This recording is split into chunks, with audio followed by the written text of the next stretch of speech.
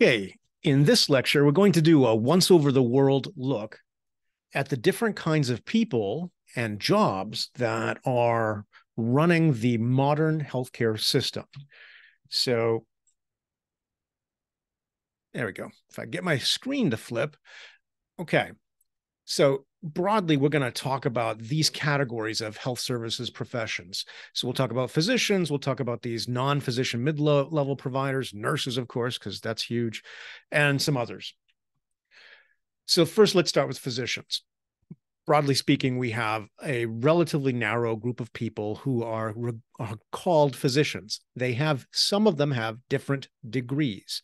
So the most common um, person who is referred to as a physician in the United States is, is an MD or medical doctor. Um, you were also going to be exposed, likely, and you might have, without even knowing it, having have been cared for by a doctor of osteopathy. That's a DO. Um, so if you go to see a physician and you look at their credentials, most likely you're either going to see MD or DO. Um, the difference between MD and DO is primarily historical. It was a, a different approach to medicine. DOs had a more holistic perspective, and modern physical therapy really grows out of the osteopathic tradition. They did quite a bit of manipulation of the spine um, as part of their normal practice. Today, so my younger sister is a DO. She learned a little bit of manipulation, but as a family medicine doctor, she does not really use it. Some DOs still embrace it, but for the most part, there's very little difference in the training that DOs and MDs get. Maybe a little bit of a cultural, attitudinal perspective, a little more holistic on the DO side. But that doesn't mean that MDs don't have holistic perspectives as well. It's just a, a little more of a cultural leaning in the way that they train. Also known as physicians are podiatrists. Um, so this is a doctor of podiatric medicine or a DPM. They go through their first two years of of uh, podiatric training is um, is basically identical to what an MD or a DO would do. Um, they then focus on care of the patient basically below the knee. And then naturopathic doctor or ND uh, has a long um, history in the United States coming out of the homeopathic tradition your book has a little more on that. I have an interview with one of the first naturopathic doctors in New Hampshire. So when you come to your assignment uh, to listen to a one of my interviews, um, you can, if you're interested, you can look for her. Okay, so physician training. This is a they go through a lot of training. So first, in order to go to medical school in the United States, that's a graduate program. So you have to earn an, a BA or a BS, so a Bachelor of Arts or a Bachelor of Science. Doesn't really matter what you get it in. You can get a, a bachelor degree, bachelor's degree in English or philosophy, as long as you take the required pre-medical coursework, which includes um, dream killers like organic chemistry and physics. So physicians will graduate with a with a bachelor's degree they then go to medical school. Medical school is four years. The first two years are basically classroom didactic in most programs not all but in most programs followed by two years of primarily clinical rotations where they get to get exposed to all the different fields of medicine that we'll be talking about here in just a second. After they finish medical school they are legally doctors. They have to complete what's known as an internship which is typically uh, is one year and is typically done as part of the residency process today. Technically that allows them to go into practice. Almost no one does that anymore in most part because no hospital would allow you to practice there without being residency qualified.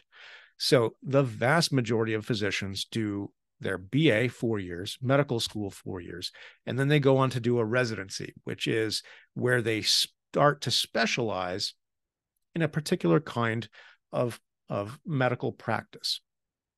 Residencies last anywhere from three to seven years and I have a list of them for you to look at. Some some programs, some types of physicians have to do not only a residency but a fellowship, and we'll talk about that in a minute. Followed by they they after they complete their residency and or fellowship, they have to take boards to become board certified. So you'll hear someone referred to as a board certified orthopedic surgeon or a board certified obstetrics and gynecology physician.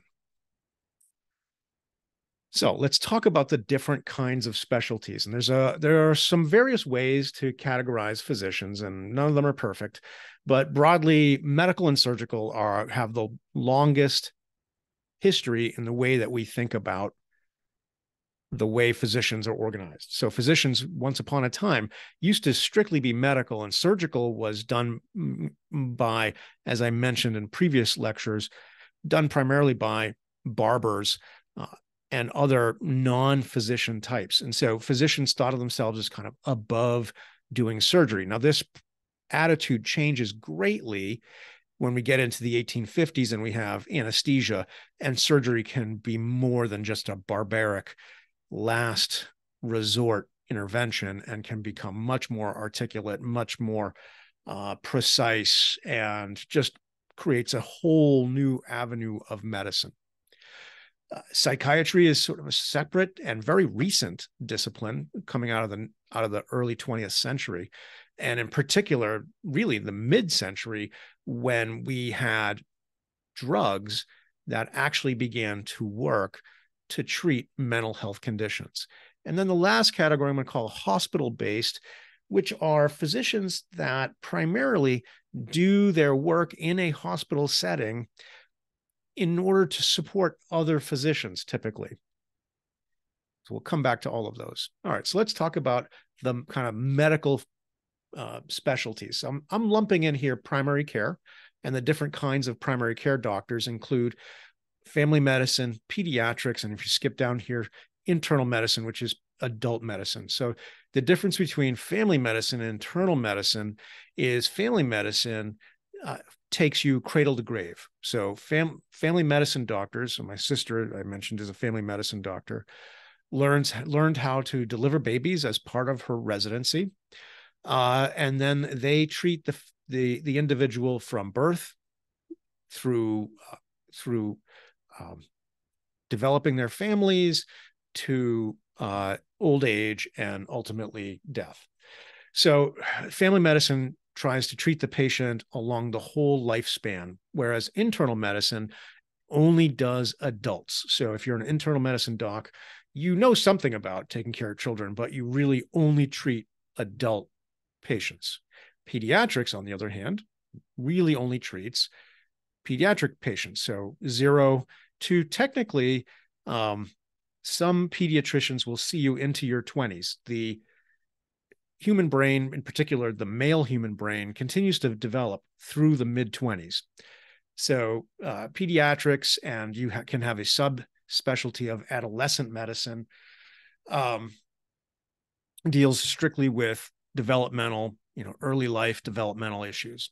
Now, neurology and dermatology are residencies that don't require an internal medicine residency first. So you can go directly from medical school to a neurology residency or directly to a dermatology residency. So neurology is a treatment of the nervous system and dermatology is a treatment of the skin, right? And the skin is actually technically one of the is the largest organ in the human body. It is an organ uh, in that it performs particular functions. Now, I have internal medicine down here at the bottom because even though it's a primary care specialty, um, internal medicine is sort of the gateway to a whole slew of other medicine subspecialties that require um, a fellowship. So, one thing I want you to remember is neurology and dermatology don't require a fellowship. That's a straight into a residency. Whereas all the rest of these require first so first, all the rest of these internal medicine subspecialties require first medical school, then an internal medicine residency, and then you can do a fellowship. So if you want to become a cardiologist, for example, you have to do medical school, internal medicine residency, become board certified in internal medicine, and then you can become uh, go to your cardiology fellowship and become a cardiologist. And then there's even more subspecialization there.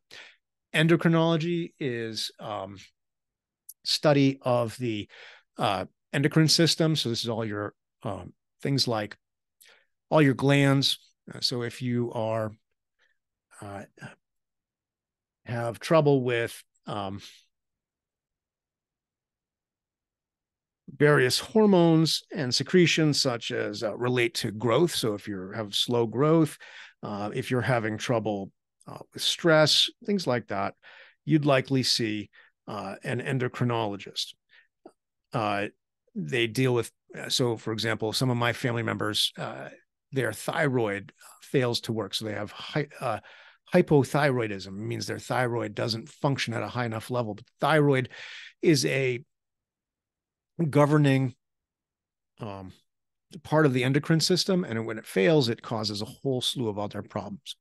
Gastroenterology is a study of the digestive system. So it's uh, uh, it, it, if you have issues with your stomach, issues with your bowels, uh, at some point if you're lucky enough to make it to 50, you'll get a chance to go get your first colonoscopy, which I had the privilege of getting a couple of years ago, and I'm be getting one again in the next couple of years. So good times there. Hematology is the stud- study of blood. Infectious disease is the study of things like COVID 19, right? So that's, uh, and HIV. So diseases that are transmitted in human society. Nephrology is the study of the kidneys. Uh, oncology is the study of cancer. Pulmonary is the study of the lungs, and there's more. So uh, you don't need to know all these, but you should generally be familiar with them. And the main point I want to make here is if you're seeing any of these sub subspecialists, they do medical school first, internal medicine residency second, and then they do a fellowship. And then there are all of these have subspecialties as well, further subspecialties. Now, going back from the medical side to the surgical side, we have a whole slew of surgical residencies, some of which uh, you uh, go directly to a particular kind of surgery, and again, some of which you'll do a surgery, a, a, a particular a residency first and then a fellowship. So general surgery is going to work with the bowels. So uh, the it's not the bowels, uh, the stomach and um, uh,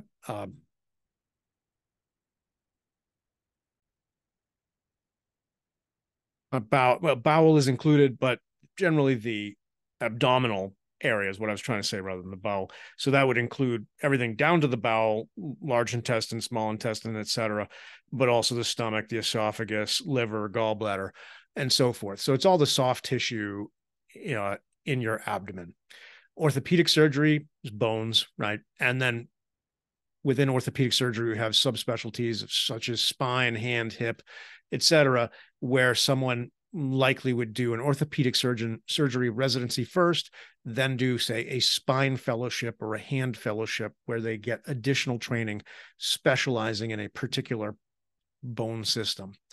Uh, urology is the study of uh, the urinary system. So this is going to deal with um, reproductive organs as well as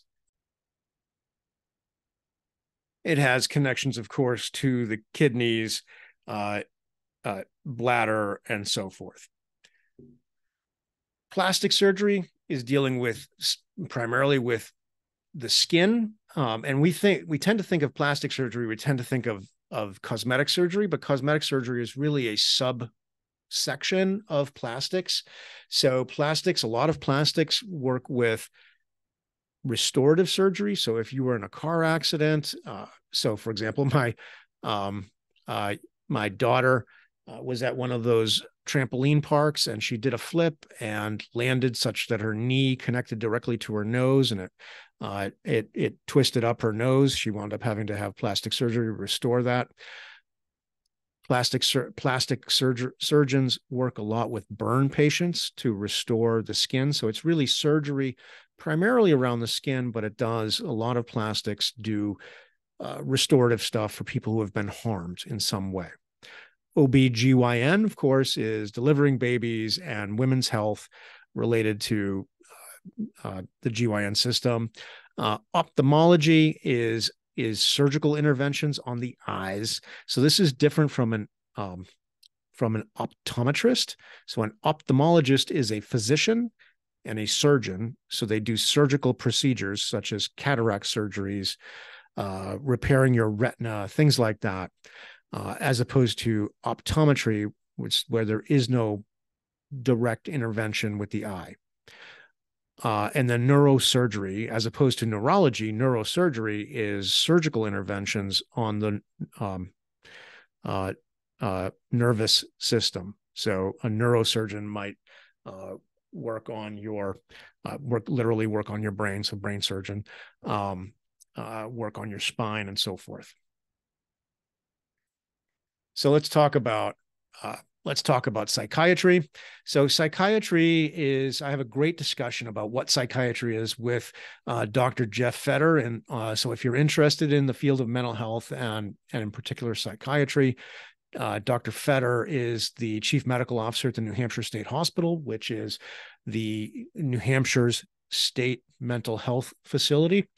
Uh, psychiatry, as you hear Dr. Fetter talk about, is really the use of pharma, pharmaceutical interventions to work on on mental health disease. So it follows a medical model, right? It looks at the brain as an organ uh, and how it interacts with the body.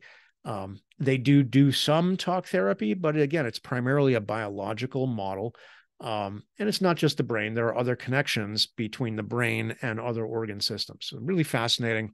But it's important to remember psychiatry is different than psychology. Psychiatry is a physician that ha- follows a med- medical model to treat mental health. So their main tools that a psychiatrist uses is pharmaceutical interventions. A psychologist uses talk therapy or testing uh, to diagnose and treat, but does not, for the most part, use pharmaceutical interventions. Only a psychiatrist can do that because they are also a physician. So, psychiatrist does four years of medical school and then does a psychiatry residency. There are also some psychiatry uh, fellowships. Uh, we won't get into those here, but you could further subspecialize into child psych and things like that.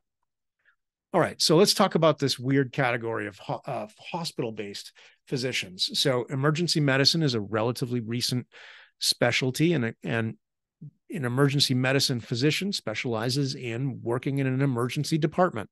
And emergency departments are, for the most part, only in hospitals. Now, there are some standalone emergency medicine uh, facilities, but they are all connected to a hospital and within a reasonable drive of a hospital. So their specialty is is is saving life, limb, eyesight, rapid diagnosis. You should only be going to a emergency, uh, excuse me, an emergency room if you are in danger of life, limb, and eyesight. That's what an emergency is, and that's what your insurance company will tell you uh, if you show up uh, and don't need emergency care.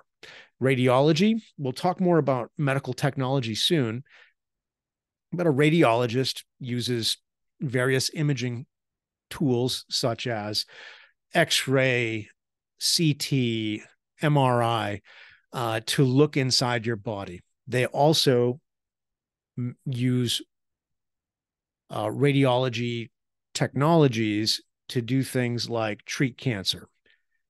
Uh, so they they are the ones who would radiate your cancer.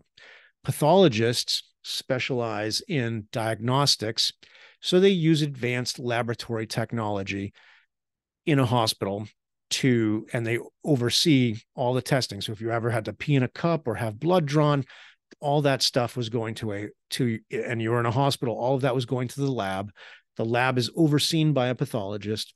But also if you say had surgery and the surgeon removed something from uh, a potential tumor and they were trying to figure out what it was and whether it was cancerous or not that that biopsy or that sample would be sent to the pathologist who would then examine the tissue and make a determination about whether the tissue the tumor was cancerous or not so all of those really all these specialties really exist primarily in a hospital uh, setting.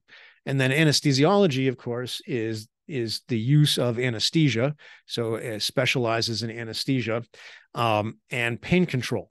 Really critical for transforming surgery. We didn't have anesthesia until the late 1840s.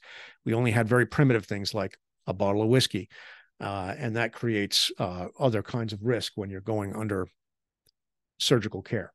So a funny uh, personal connection. If you haven't noticed, my last name is Bonica. Uh, and I have have had some anesthesia anesthesiologists in my class, and they see my name and they're like, "Oh my goodness, who uh, are you related to Dr. John Bonica?" So, Dr. John Bonica. Um, uh, so Dr. Bonica paid his way through college and medical school by being a professional wrestler. So here's a picture of him as a young man, as a professional wrestler. Uh, various points, he was known as John the Bull Bonica and things like that. You know how the, I mean, you guys seen the pro wrestling stuff, right? So in the in his pro wrestling career, he was injured a number of times and as a result had chronic pain for most of his life. And so after he became a physician, he uh, chose to become an anesthesiologist and he studied pain management. And so uh, he is known basically as the founder of modern pain management, which is kind of cool. Uh, he's a like second cousin of mine from the same island off of uh, Sicily that my dad is from. Uh, so just a little fun fact there. So thinking about uh, different specialties just to give you a flavor of of how you know why physicians choose the paths they choose. So i've got the some of the different specialties so you can see uh, how much they earn as well as how many years it takes post medical school to complete the training. So for example if you want to become a family medicine doctor uh, it will take you three years post medical school or seven years in total of medical training, and you'll earn about two hundred and fifty thousand dollars. Not too shabby. Uh, you can become a internal medicine doctor uh, with the same amount of training. So you'll notice pediatrics, family medicine, internal medicine, all the same amount of training. They make in the same ballpark, you know, and this is again median. So this is the middle. About half make more, half make less. Hence, it's a median Uh, a relatively new innovation in healthcare is the hospitalist. So this is an internal medicine doctor who be, who decides I don't really want to do an outpatient practice. I don't want to have a panel of patients that consider me their doctor. Instead, what I'm going to do is I'm going to work for a hospital. And whenever a patient is admitted to the hospital, I will become their primary doctor and I will oversee the medical care that they're getting in the hospital. Now, this is typically on the medical side, unless they're eh, admitted for something specific like cardiology. So you can see hospitalists tend to make about 307,000, which is quite a bit more than their outpatient oriented colleagues. And this is because hospital when when you're dealing in the hospital, you're tending to generate some really big bills. And so hospitalists get to participate in that larger income stream. Now we get into some of the big money, go down here, and you can see cardiology, your basic cardiologist who does the four years of medical school, right? Um, uh, that should probably be that should be seven years. Uh, sorry, not uh, no, six years post, right? So uh, three years of uh, excuse me, three years uh, four years of medical school over here. All right, I'm going to get this straight.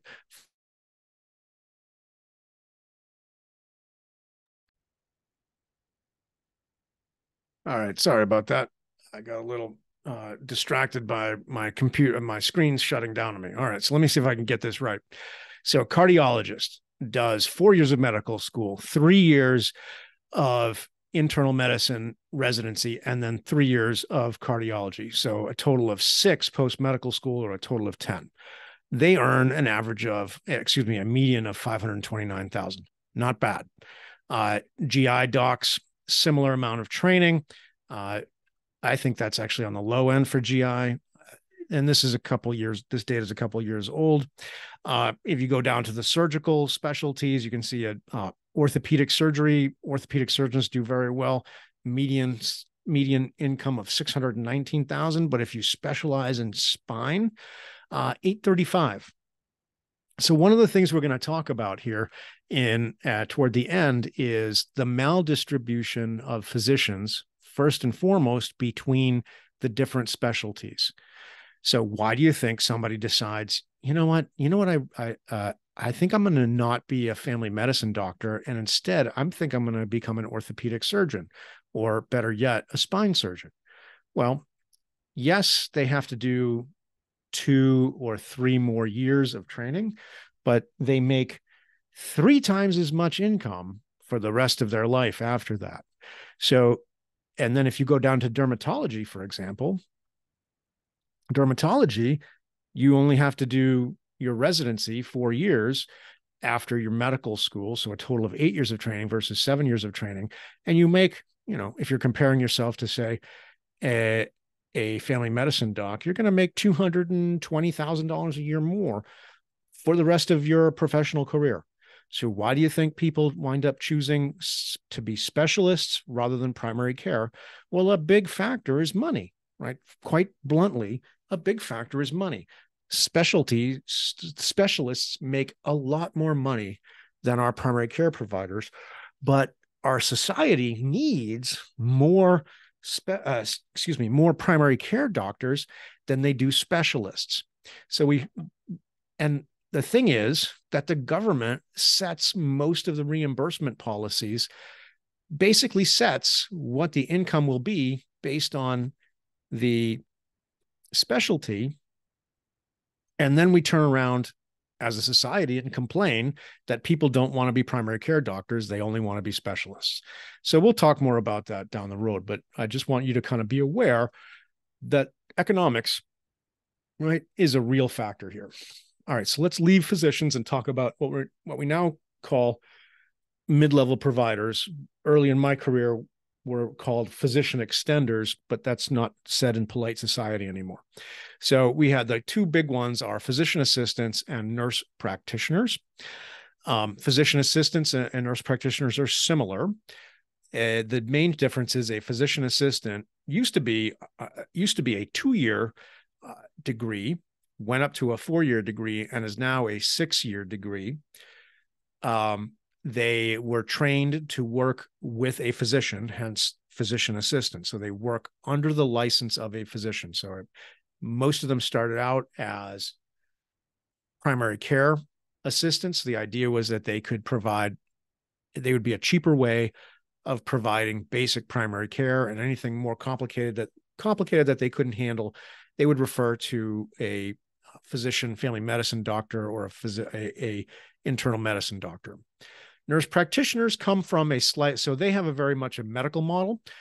Nurse practitioners grow out of the nursing field. So, in order to become a nurse practitioner, you have to do a four year RN first, and then you do a master's level, two more years uh, training to become a nurse practitioner.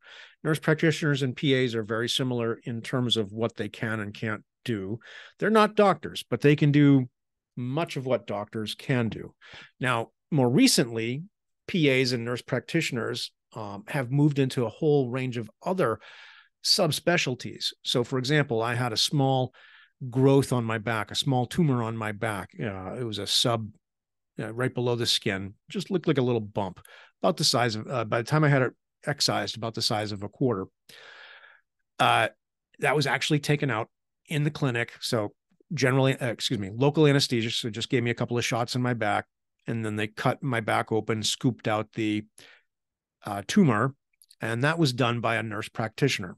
So nurse practitioners are now doing general surgery uh, are becoming general surgery specialists, so they support general surgeons. But they also do one of the more common ones is a psychiatric nurse practitioner. So this is a often a psychiatric nurse who then goes on to get her nurse practitioner, his or her nurse, nurse practitioner degree, so that they can administer psychiatric medication. Um, some other flavors include, uh, in particular, of the from the nurse side, include nurse midwives. So a nurse midwife is a woman uh, or man that is trained uh, as a nurse first, and then does follow-on training, so an additional two years, learning how to uh, care for pregnant women and then manage the birth.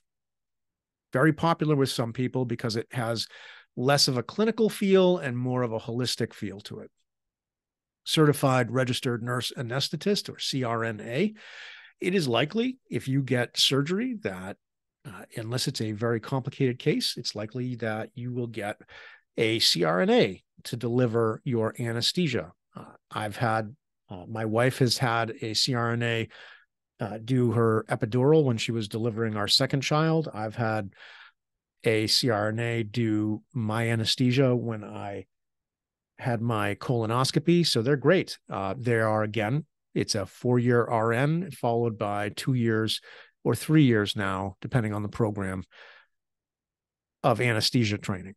And there are others, but that's a good good uh, uh, introduction. This photo is of, of a friend of mine, uh, uh, Karen Clements. She used to be the chief nurse at Dartmouth Hitchcock Hospital, and now is the chief nurse at Mercy Hospital in Portland.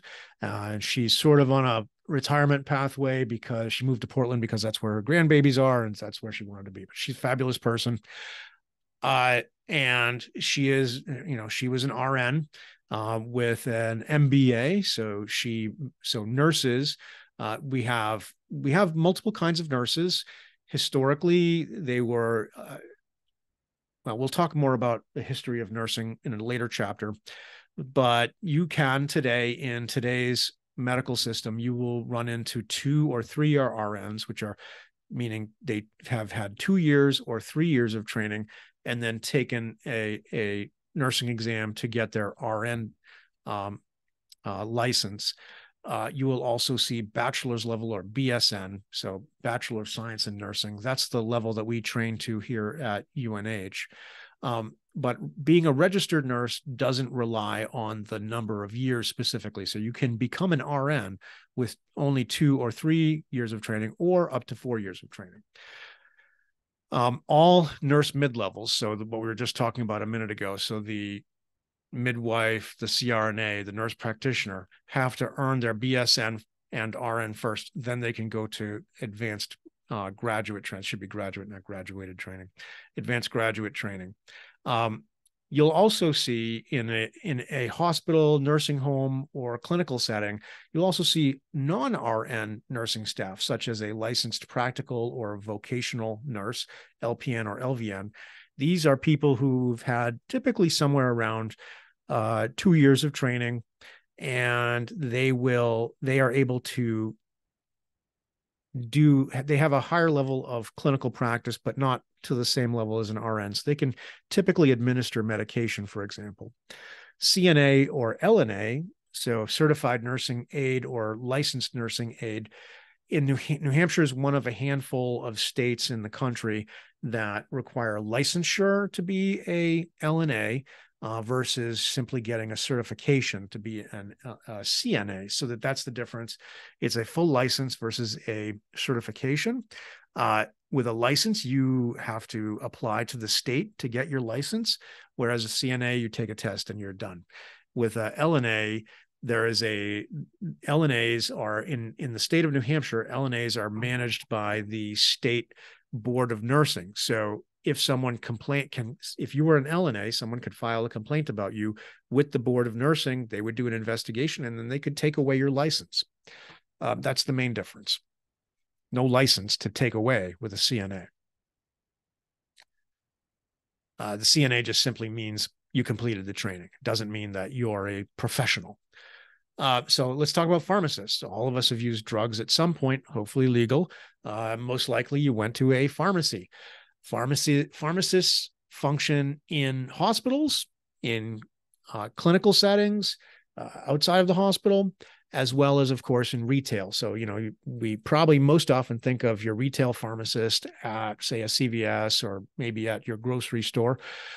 But all hospitals have pharmacies because, uh, and they have both inpatient and outpatient pharmacies. We'll get into that a little more later. But so higher levels of care, pharmacists are specialists in understanding the use of pharmaceuticals in a therapeutic environment. Pharmacists will often know more, uh, generally speaking, know more about drugs and the way drugs work, and importantly, how drugs interact than your physician does, right? So this is all they do is drugs. um, all they do is drugs. So they're always doing drugs, whereas your physicians are doing a variety of things. Now, physicians know a lot about drugs, right? Because they need to, but a pharmacist can be a really great ally to a doctor to because this is their this is their specialty. Um, now, to become a pharmacist, you have to go through a six-year program and be, you become a doctor of pharmacy or PharmD. That doesn't mean you you're a doctor in the same way as a physician is a doctor. You are a doctor of pharmacy. So you'll see a lot of these doctor of term, terms in healthcare. It just means that you have an advanced degree. So when I was coming up, um, in the first uh, 10 years of my career. So from the 90s, the early 90s to the early 2000s, it was pretty standard that the pharmacists I worked with had four year degrees. Now today, that that has been extended to a six year program. Um, so like other specialties, pharmacists can subspecialize. Uh, I had had friends who were oncology pharmacies, so they specialized in in working with patients with cancer, and so they were the ones who would actually like make the chemotherapy, for example, because a lot of these things have to be custom made. So if if you were going to a hospital to get chemotherapy, you would go to the oncology pharmacy, and an oncology pharmacist would probably prepare the specific dosages that your oncologist was recommending, and would partner with your oncologist to come up with the right uh, regimen of treatment.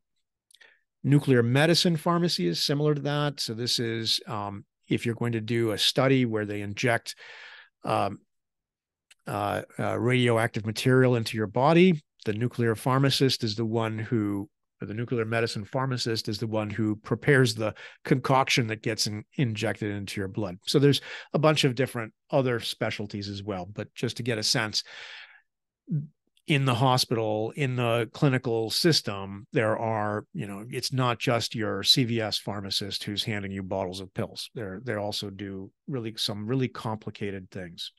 They're more like chemists. Um, you can think of them more like chemists.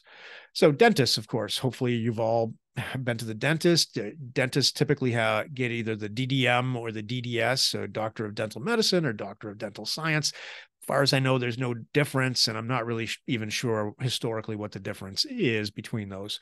Uh, but basically, you're going to be one or the other. Four year degree. The first two years of of dental medicine is almost identical to the first two years of medical school, and then they and then instead of doing clinical rotations through all the different kinds of medicine, they go into doing, you know, dental care you'll typically have get a have a general dentistry uh, degree. So so your your dentist, unlike your physician, your dentist can do four years and move and be out and start practicing.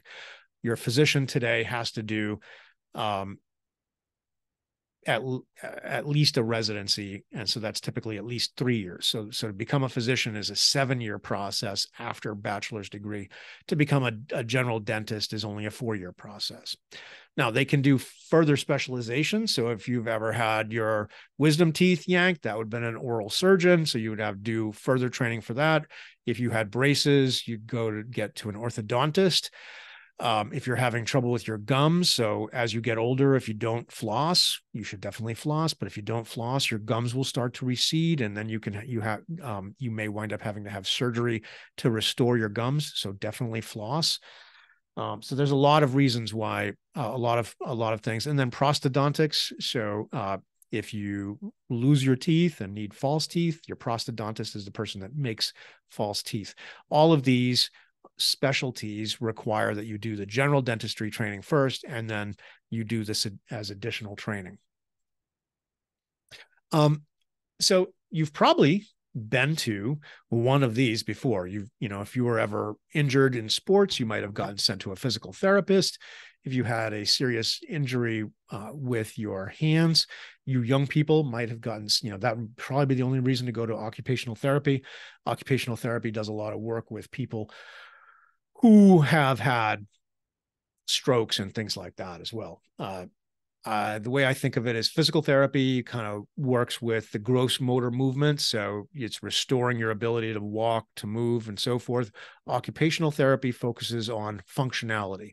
So if you were in an accident and had your uh, maybe lost one of your arms, you might go to an occupational therapist to learn how to use your prosthetic uh, and then learn how to, you know, cook um, or clean or do your job now in a different way. So occupational therapists help people solve problems uh, when they have some new limitation.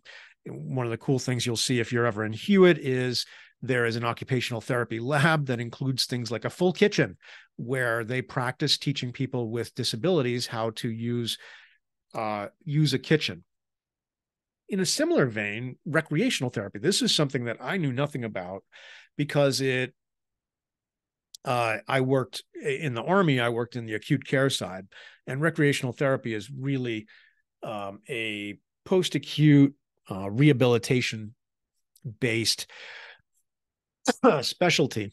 But it's a really cool one, and we have rec therapy here at UNH.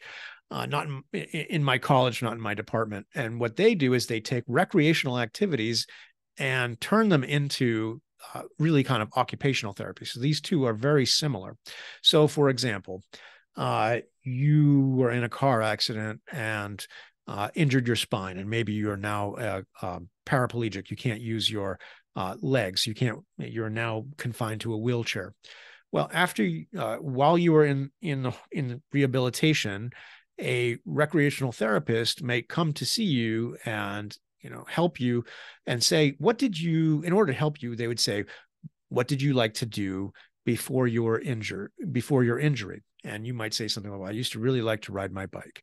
And they say well that's great. So what we have is a hand cycle. So this is a bicycle with uh, the hand grips are allow you to pedal. So you can pedal the bicycle using your hands instead of your feet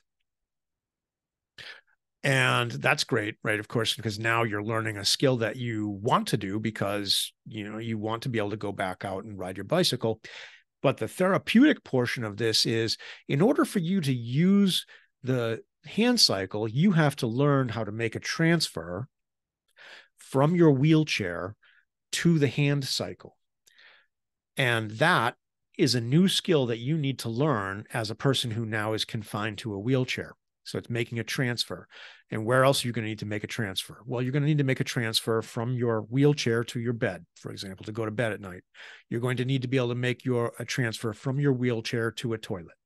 Uh, you're going to need to make a transfer from your wheelchair to a dinner chair or some whatever else, right? So a new skill that you need as a person who is recently confined to a wheelchair is this ability to make transfers. So, what recreational therapists try to do is they look for a thing that you want to do, such that you have an internal motivation to want to do it. And then they turn that into a therapeutic intervention. So, again, like teaching someone who's recently confined to a wheelchair, teaching them, uh, uh, giving them the ability to ride a hand cycle, which then teaches them how to do a transfer. Many of you probably have had therapy at some point, and one of the most common therapists that exist in the United States are licensed clinical social workers. So these are social workers that have a master's degree in uh, uh, therapy. Um, so this is very common less common and requiring more training is a clinical psychologist. So, whereas a clinical social worker is a six year degree, uh, four years plus two years of, of therapy, clinical psychologist is uh, four to seven years of training. And clinical psychologists do do some therapy type work, but a lot of them do specialize in testing. So they do high levels of testing. So, for example, to to determine the level of autism that a that a person might have, or some other uh, some other learning disability. So you'll see clinical psychologists working in school systems, for example, that they do uh, testing. So if you ever had an um, uh, what is that called? I, I, want to say an IED, but that's an uh, that's an explosive device. A uh, um, independent learning. I can't remember it right now. Uh, but a you know a, a, program where you had special special needs addressed by the school um, that would have been determined by your at least in part by your clinical psychologist all right so in that that's kind of the broad field of allied health those were the licensed these were all people with licenses so they have to get a license uh, at the end of their training. But we have a lot of allied health people that don't have licenses. So we have a lot of different technicians and technologists that don't have licenses, such as a lab technologist that runs complex tests. Uh, so you, you, we have that program here at UNH occupational therapy technicians, physical therapy technicians. These are people that have a couple of years of training and work under the license of a occupational therapist or a physical therapist. Radiology technician. So if you ever had an X-ray done, it was probably done by a rad tech, not by a radiologist. You probably never met the radiologist. So rad techs, uh, uh, that's what we call them in the in the in the business. Uh, do all you know run all the different um, uh, imaging tools such as x-ray mri and so forth and ultrasound and so forth right? So there's a lot of these different kinds of technicians. These pay really well and typically don't have you know somewhere they have somewhere between a year and two years on average of training and good good good uh, income associated with them here's one of the interesting things I, um, that I only recently found out. I was having a conversation while I was at my dentist with my dental hygienist, and she informed me that dental hygienists can work independently in Maine. So that means dental hygienists have to be licensed uh, in all, all 50 states, as far as I know. In most states, a dental hygienist has to work under the license of a dentist. So they can't hang out a shingle and start advertising that they can do cleanings. But this is the person that typically does like your cleaning for you. In Maine, in order to address the shortage of dentists in Maine, Maine now allows dental hygienists to practice on their own. They don't have to work under a dentist, and so they get to keep uh, more of their income, which is pretty cool. Uh, and and a appropriate response, in my opinion, to a short shortage of dentists. Now, near and dear to my heart, of course, are administrators, because that was my uh, role. Now, administrators provide non clinical support to the system. So, this is administrators, you know, the way I think of it is you think of the Patriots, right? Well, the players on the field, they're going to be your physicians. They're the one that everybody's focused on.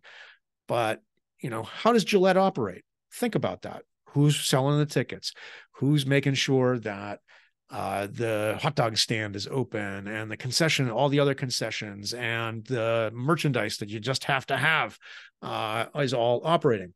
Well, that's going to be kind of the equivalent of your administrators. And it's a great field, right? It's a great field. There's a lot of en- low level, entry level stuff that doesn't require much education, such as uh, ambulatory or patient uh, service rep. We call them PSRs or ASRs. These are the people that run the front desk.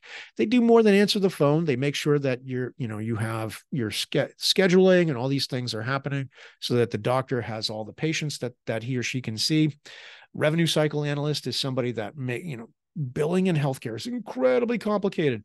Um, and so the revenue cycle analyst is somebody that works to make sure that the doctor and the and the hospital get all the revenue that they're supposed to get when they do the work. Um, information systems analyst, right? So everything in, in healthcare is heavily IT now. One of the few licenses, in fact, the really the only license that I'm aware of, license meaning as opposed to certifications, the only license that I'm aware of on the administrative side is the nursing home administrator. So in every state, as far as I'm aware, in order to to run a nursing home, you have to have a licensed nursing home administrator, LNHA. So I'm on the board of licensure for nursing home administrators in the state of New Hampshire. And you have to do, in addition to having an appropriate, you don't have to have a particular degree to be a nursing home administrator, but you have to have enough credits to show that you've earned, you've learned about running a health, you have an understanding of healthcare. So you have to take courses like this one that you're in right now. Then in New Hampshire, you have to do a year long what's called an administrator and training program. So it's a, or, we call it an AIT, um, where you work under the supervision of a of a uh, of an experienced licensed nursing home administrator, um, and they teach you the ropes, and it's for a year, and then you'd have to take a, a national exam and a state exam in order to do it. So it's pretty serious stuff and it's pretty serious stuff because you have incredible uh, responsibility.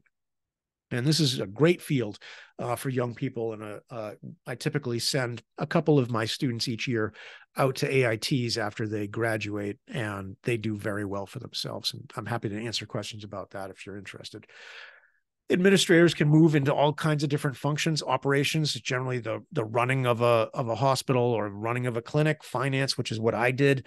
You know, everything from getting the revenue that's supposed to come in to creating budgets and and managing resources IT of course human resources. I mean the world is your oyster in healthcare and most of them are not licensed. So whatever you're getting your degree in you could potentially go on to get a job at a hospital working in some sort of administrative role. And this course would help you a lot with that because you'd have some of the terminology and you'd know some of the people who you're working with such as you know the difference between a um, a neurologist, and a neurosurgeon. So, what do we see for trends in healthcare? We're almost done. What do we see in, in trends in healthcare? Well, I, I mentioned earlier, we have a problem with too many specialists and not enough general practice or, or primary care uh, providers. Again, that goes to, in particular, re, uh, uh, compensation, right? If you're going to go do a you know seven or eight years of training and you're now choosing between a specialty that's going to pay you 250000 versus 500000 you're probably going to think pretty long and hard before you decide to take the lower paying one. Uh, we also see a shortage of physician uh, physicians in rural areas. Again compensation doesn't go up. In fact it goes down for most physicians if they move out to rural areas. And if you've got to spend 10 years getting training that's a lot of, of income that you've given up. And you've probably taken on a huge amount of debt. And so you're not going to go to a rural area where you're going to get less pay. Um, there are shortages of other kinds of staffing out in the rural areas as well, all the way down from physicians all the way down to technicians. It's hard to re- retain um, people in the rural area, and that's a problem in in states like New Hampshire, where we're about uh, we're about half, two thirds uh, rural. And then physician burnout. We're seeing a lot of challenges with physicians just getting exhausted um, and regretting their choices. Um, supply of, of medical professionals. So we said geographic maldistribution, right? So that's too many too many physicians and other kinds of providers in the cities, not enough in the country and or in the rural areas. Specialty maldistribution, largely because of compensation being distorted by government decisions about what different procedures will be paid and what what different kinds of practices will be paid. Uh, and so this kind of gets into the last sections of prices and allocation of resources right? The government is setting the government setting of prices instead of allowing the market to to decide uh, really does create all mostly creates these the problems that we're dealing with um, so we create our own problem. Um, I'll just leave that there. Some other trends in in and we'll end on this. Some other trends in healthcare staffing, right? Um, healthcare delivery organizations, especially hospitals, are fifty percent or more. Uh, really, their budget is spent on on people. So if you look at the budget of a hospital, it's typically they're spending more than half of their expenses on paying salaries and wages. Higher and high, we're requiring higher and higher levels of training. So maybe down here, rising educational requirements, right? So I talked about in my career, you know, from the early the early 90s through to the early 2000s, we went from requiring a pharmacist to have a four-year degree to a six-year degree. That's two more years of of not earning a salary and two more years of student loans, right? So that's a lot of money. Physical therapy has gone from four to seven years of, you know, six or seven years of training. Nurses, uh, the system is squeezing out two and three three year RNs uh, in favor of four year RNs. You know, it, it, what that does is is a lot of people who might be who might say, you know, I'd like to be a nurse, um, and I'd be willing to do two years of training, but four years is too much. We wind up losing those people to a different field they did, uh, often don't just say, "All right, well, I guess I'll just do four years." What they say instead is, "You know what? I'm going to do. I'm going to be a rad tech instead because that's a two year. That's a two year program, not a four year program." So that's a that's that's a problem and another reason why we see shortages. And then other increasing regulatory and educational requirements, such as m- more extensive licensing requirements, result in increased cost both for the individual trying to earn the the degree or the license. And then once those people have been trained, institutions have to pay them more because it costs them you know more effort to get there. All right, so that's a quick overview of um, healthcare professions in the United States, and we will talk more about technology soon.